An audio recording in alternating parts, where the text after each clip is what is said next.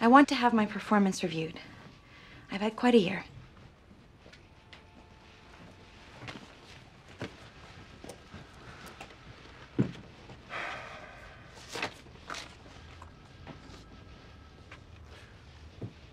What do you see for the future? Well, um, is that on there? No, I'm just curious.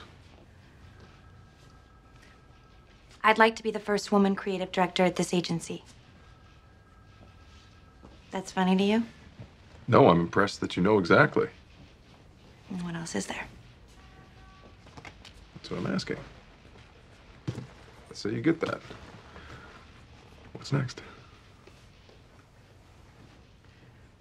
Land something huge.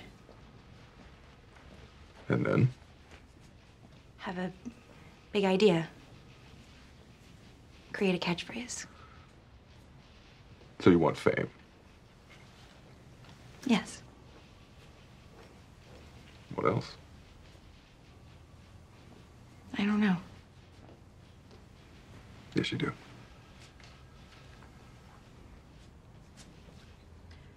Create something of lasting value.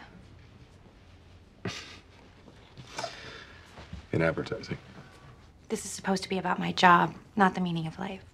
So you think those things are unrelated?